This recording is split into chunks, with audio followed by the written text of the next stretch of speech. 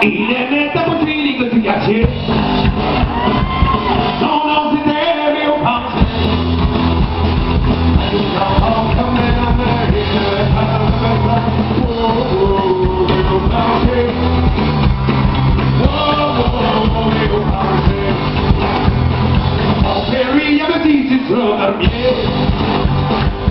Mais il pas métier Voici